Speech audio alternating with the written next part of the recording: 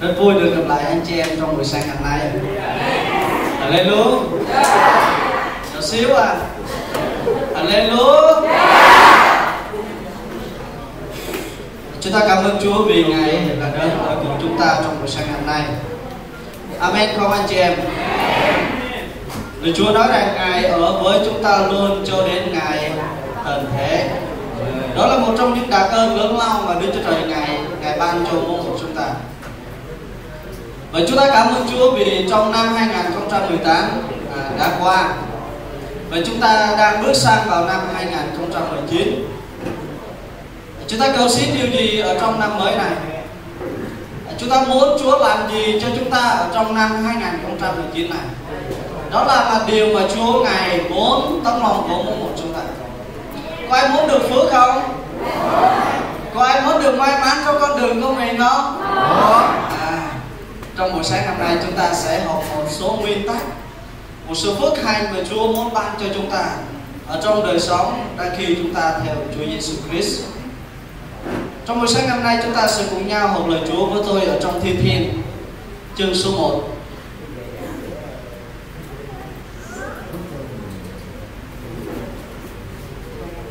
Giờ chúng ta có câu gốc ở trên bàn.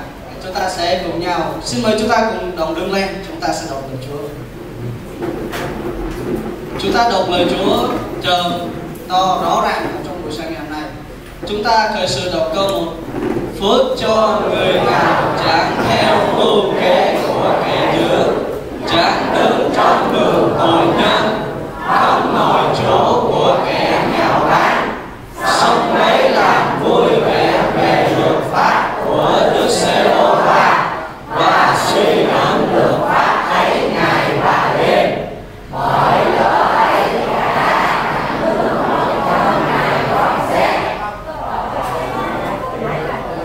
người ấy sẽ Dạ như xin lỗi. Dạ chúng ta sẽ đọc lại. Dạ do người chiếu ờ, chiếu bệnh nhân quá nên mất. Chúng ta sẽ đọc lại một lần nữa. Chúng ta đọc lại câu số 1 Dạ xin mời người chiếu tập trung ạ.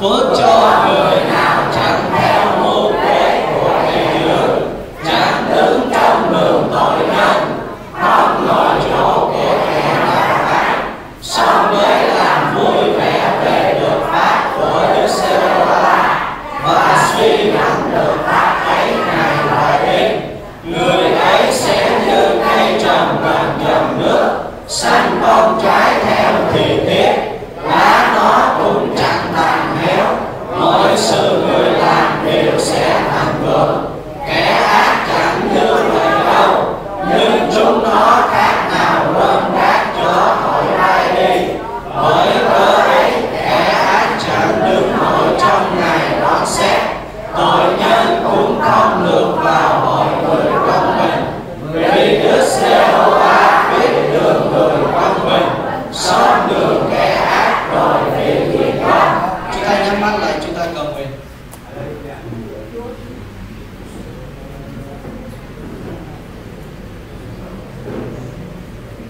lạy Chúa, yêu dấu của chúng con. Một lần nữa trong buổi sáng hôm nay, chúng con cảm ơn Ngài lạy Chúa ở và Chúa ơi, trong buổi sáng hôm nay con cầu nguyện xin Ngài sức dầu cho lời Ngài Và Chúa cảm ơn Ngài vì cho Ngài cho con có cơ hội trong buổi sáng hôm nay để con được truyền tải lời của Đức Chúa Trời. Và xin Chúa giúp đỡ đừng để con nói trong yêu riêng của con vì con ao ước rằng chính Ngài là đấng sử dụng lời của Ngài truyền tải cho dân sự Chúa trong buổi sáng hôm nay. Và con cầu nguyện xin Chúa Ngài ban lòng mới và đặt thờ mới của Ngài trong tấm lòng của chúng con. Khiến cho lòng của chúng con là những mảnh đất tốt để lời Chúa được gieo trồng lớn lên và sống động ở trong tấm lòng của chúng con.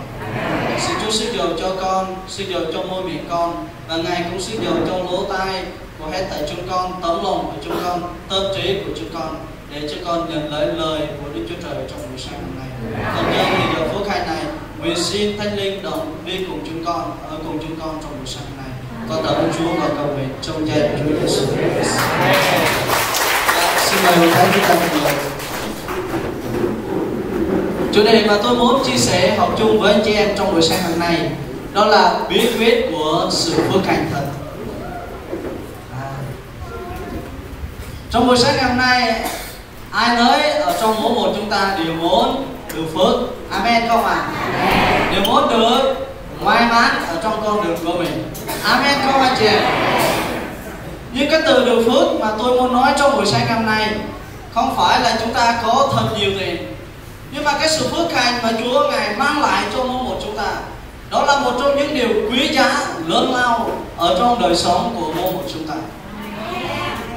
Thi Thiên đoạn 1 đây là một trong những tác giả nổi tiếng, là một ông vua David đã ký thuật lại cho chúng ta về Thi Thiên chương 1 có một số nguyên tắc để mà chúng ta được phước ở trong buổi sáng ngày hôm nay chúng ta nhìn thấy cái từ câu số 1 nói rằng, phước cho người nào chẳng theo mưu kế của kẻ dữ chẳng đứng trong đường tội nhân, không ngồi chỗ của kẻ nhà bán.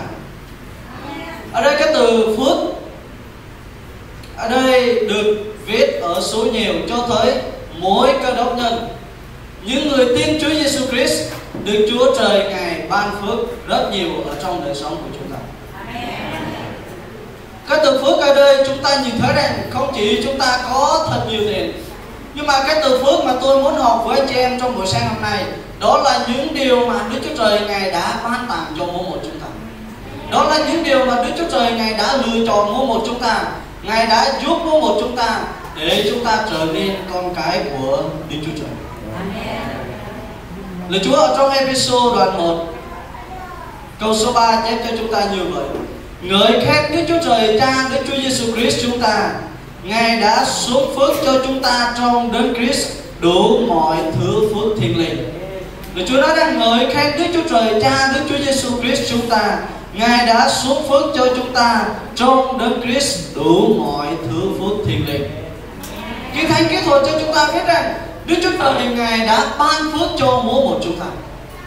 Đức Chúa Trời Ngài đã lựa chọn cuộc đời của mỗi một chúng ta để chúng ta được biết về Chúa Giêsu Christ. Amen. Không anh chị? Đáng lẽ trong buổi sáng hôm nay chúng ta không ngồi được ở tại nơi đây. Nhưng mà bởi lòng yêu thương của Đức Chúa Trời Ngài đến, Ngài gõ từng tấm lòng của chúng ta. Ngài chọn mỗi một chúng ta Để rồi chúng ta trở nên con của Đức Chúa Trời. Amen. Không anh chị em? Tất cả mọi sự sống cũ nó đã qua đi. Năm 2018 có thể nhiều người chúng ta bị thất bại có thể nhiều người chúng ta bị nhiều nan đề. Có thể nhiều người chúng ta gặp nhiều thử thách ở trong cuộc sống của mình. Và có nhiều người chúng ta đã nghe lời chứng của người chị em trong buổi sáng hôm nay. Gặp nhiều thử thách.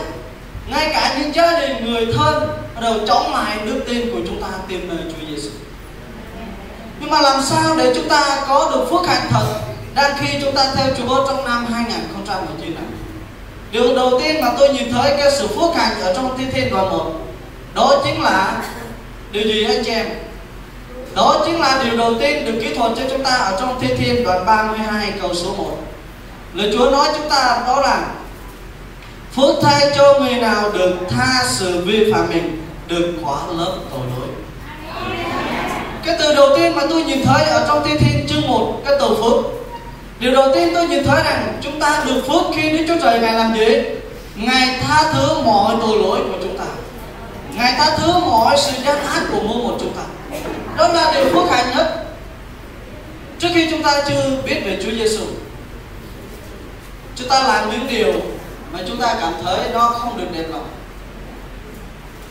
Trước khi chúng ta biết về Chúa Giêsu Christ, thì chúng ta có những đời sống làm gì anh chị em? Chúng ta có những đời sống hoàn toàn trái ngược với lời Chúa khi chúng ta chưa biết về Chúa ai là người trước khi mình tin Chúa mình còn nhờ nhẹt? Trước đây. À nhiều người chúng ta nhờ nhẹt. Phải không ạ? Nhưng mà khi Chúa đến Chúa cứu chúng ta chúng ta còn nhờ nhẹ đâu cảm ơn Chúa. Đức Chúa Trời ngài thay Đức Chúa Trời ngài tha thứ mọi tội lỗi của mỗi một chúng ta. Đức Chúa Trời ngài dời mỗi một chúng ta từ con người tội lỗi từ một vương quốc tối tàn ngài dẫn chúng ta đến vương quốc sáng láng là lừng của Đức điều được phước đó là ngài tha thứ mọi tội lỗi của chúng ta. Không có người trong thế gian tha tội cho chúng ta. Amen không anh chị em Đáng lẽ chúng ta là người chết mất ở trong tội lỗi. Đáng lẽ chúng ta là những người bị đón đi ở trên tập tự giá Đáng lẽ chúng ta nhờ một án phạt đó là chúng ta phải chết. Nhưng mà cảm ơn Chúa vì Ngài làm gì?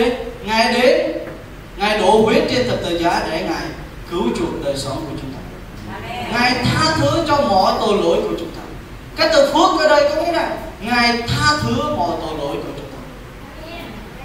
Lời chúa cho chúng ta biết rằng phước cho người nào chẳng theo mưu kế của kẻ kẻ dữ ở đây chúng ta nhìn thấy cái từ chẳng theo mưu kế của kẻ dữ hay nói cách khác rằng, bước đi của một người tiếp nhận Chúa Giêsu cái chữ theo hay nói cách khác rằng, bước đi của mỗi một chúng ta trước đây chúng ta ở trong episode đoạn 2 câu số 1 chúng ta chết mất ở trong tội lỗi ở trong sự nhân ác của chúng ta. Nhưng mà khi chúng ta biết về Chúa Giêsu Christ chúng ta có một đời sống thay đổi chúng ta trở nên một con người mới ở trong Chúa Giêsu Christ. Chúng ta nhận biết về chính mình Ngài qua lời của Đức Chúa Trời qua đời sống khi mà chúng ta tiếp nhận Chúa. Chúng ta thờ phượng Chúa chúng ta tìm kiếm Chúa. Với trong năm 2019 chúng ta phải có một sự thay đổi lớn ở trong đời sống của chúng ta. Chúng ta được Đức Chúa Trời Ngài tha mọi tội lỗi. Chúng ta được Đức Chúa Trời Ngài gọi chúng ta là con cái của Đức Chúa Trời. Chúng ta được xưng là người con bình ở trước mặt Đức Chúa Trời. Như vậy chúng ta phải có một đời sống mới ở trong năm 2019 Lời Chúa nói cho chúng ta biết ở trong Cô-rinh-tô nhì đoạn 5 câu số 17 Ai thổ câu kinh thánh này? Cô-rinh-tô nhì đoạn 5 câu số 17 Vậy nếu ai ở trong đấng Christ Thì nói là người được trường nên mới Những sự cố đã qua đi Nơi mọi sự đều trở nên mới. Hãy nói với người bên trái, bên phải của mình Ai là người mới trong buổi sáng hôm nay?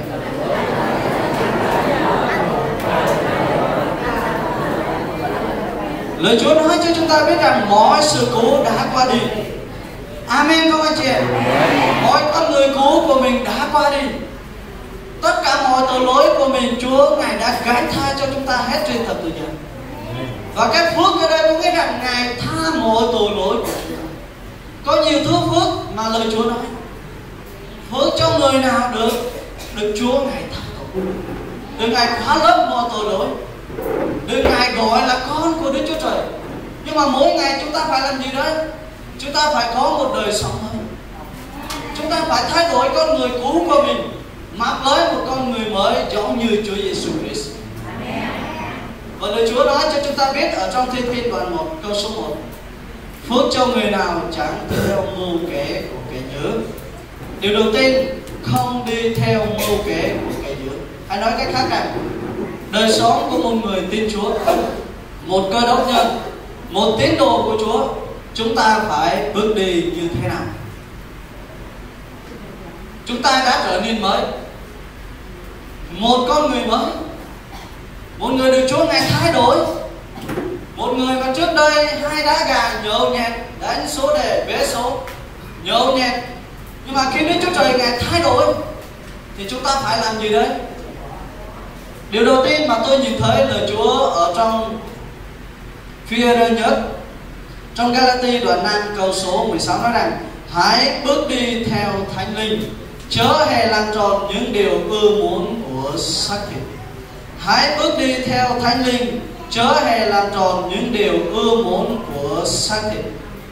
Ở trong Roma đoạn 6 câu số 4 nói rằng, hãy sống một đời sống ấy một người được Đức Chúa Trời ngài tha tội, một người Đức Chúa Trời ngài chọn lựa là một người phải bước đi theo Đức Thánh Linh.